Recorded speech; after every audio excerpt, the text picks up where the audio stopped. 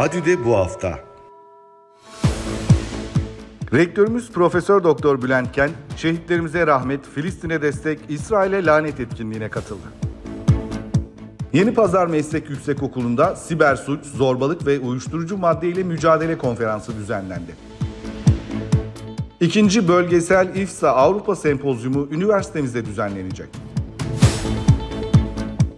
Rektörümüz kampüs güvenlik noktaları ile ilgili incelemelerde bulundu. Öğretim üyemizin araştırmacısı olduğu TÜBİTAK 1001 projesi kabul edildi. Rektörümüz öğle yemeğinde öğrencilerimizle bir araya geldi. Üniversitemiz Genel Sekreteri, daire başkanları ile 2024 yılı planlama toplantısı gerçekleştirdi. Rektörümüz enstitü müdürleri, fakülte dekanları, dekan yardımcıları, daire başkanları ile toplantı gerçekleştirdi.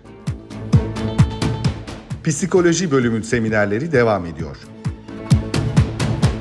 Nazilli Meslek Yüksekokulu'nda çevre sorunları ve iklim değişikliğine dikkat çekildi.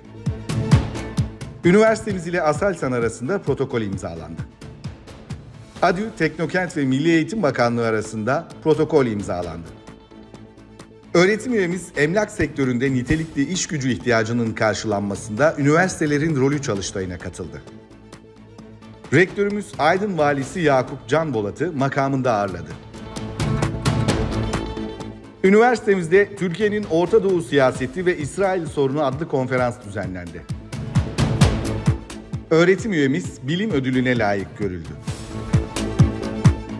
Nazilli Meslek Yüksekokulu'nda öğrenci mezun buluşması etkinliği düzenlendi.